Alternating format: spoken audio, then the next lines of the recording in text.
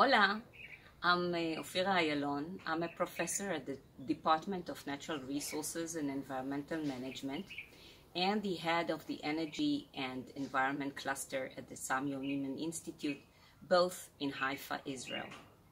I spent half a year from April till October 2019 at ITD UPM. I found a very friendly, professional, and enthusiastic team of young scholars.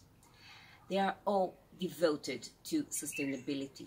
All the projects they run and all the projects they manage are diverse and they really, you really walk the talk and you really bring the message of sustainability to remote places such as Africa and South America, but also to cities and countries more modern and more developed.